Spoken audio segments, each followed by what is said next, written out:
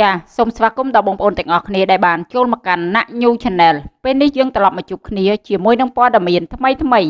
ពិធីការនីដូរល្បីឈ្មោះអ្នកនាងយកចិន្តាស្រែកទ្រហោយំទទួលយកមិនបានក្រោយពីម្ដាយទទួលមរណភាពមួយពព្រិចភ្នែក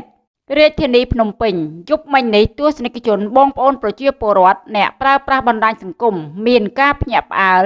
និងសោកស្ដាយយ៉ាងខ្លាំងបន្ទាប់ពីទទួលដំណឹងដ៏អកុសលថា ពិធីការនីដ៏ល្បីឈ្មោះអ្នកនាងយកចិន្តា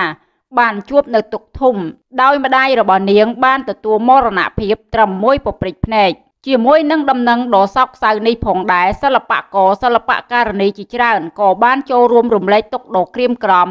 និងសម្ដែងនៅការសោកស្ដាយជាពន់ពេកត្បិតពិធីការនីទូលទស្សអ្នកនាងយកចិន្តាផ្ទាល់ក៏មិនអាចទទួលយកបាន ហើយបានត្រឹមតែស្រែកយំ ព្រោះការបាត់បង់ជីវិតរបស់ម្ដាយហាក់ឆាប់រហ័សពេក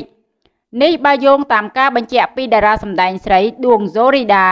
បានឲ្យដឹងដោយសរសេរនៅលើកេណនី Facebook យ៉ាងអណោចថា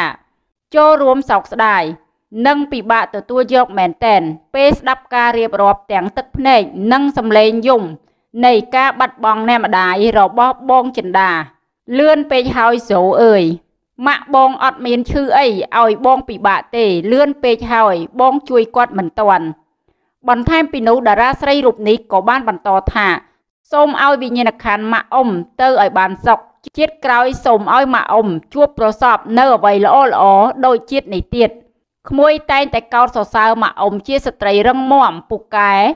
ជិះតែយន្តហោះទៅមកអាមេរិកខ្មែរម្នាក់ឯងមិនឲ្យពិបាកកូនចៅណាទេ សូម្បីតែពេលម៉ាក់អ៊ំផុតក៏ម៉ាក់អ៊ំមិនឲ្យកូនចៅណា មកពិបាកជាមួយម៉ាក់អ៊ំទៀតយ៉ាងណាការរៀបរាប់ខាងលើនេះក៏មិនបានប្រាប់ពីមូលហេតុថា